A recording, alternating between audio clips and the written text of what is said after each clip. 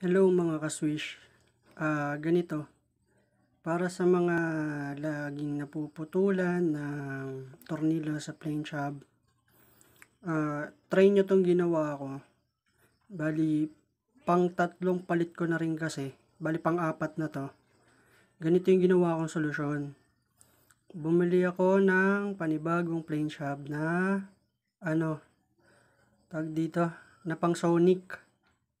Yan, yan kasi yung kalimitan na sukat sa uh, na 125.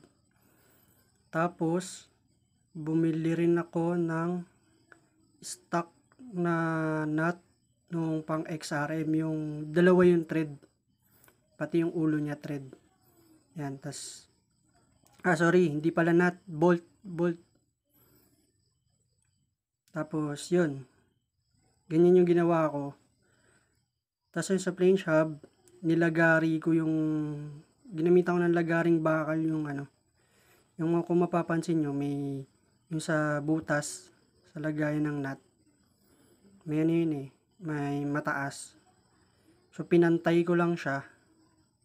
Tapos, yung pinutol ko, yung sobra, ginawa kong parang washer. So, makikita nyo naman dyan sa picture na, ah, sa video na yan, ganun lang yung ginawa ko. Sana makatulong sa inyo. And yun lang. Salamat. Ingat. Safe, safe ride lagi. Thank you. Um, wait lang. Uh, dagdag ko lang para pala dun sa bolt na ilalagay nyo. Kasi bali dalawang thread yun eh. Yung ulo niya wala. So kasi thread nga.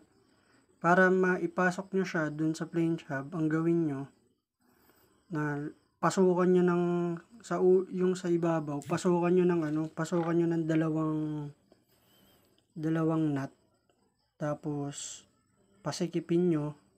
Tapos pagpipihitin nyo na siya pa papasok ang gawin nyo yung sa ibabaw yung pihitin nyo. Kasi di ba dalawang nut nga siya? Yung sa ibabaw yung pihitin nyo. So pag paluwag yung, bab- yung nasa babang nut So, yun lang. Sana makatulong ako sa inyo. Maraming salamat. And God bless. Ingat sa biyahe palagi. Thank you.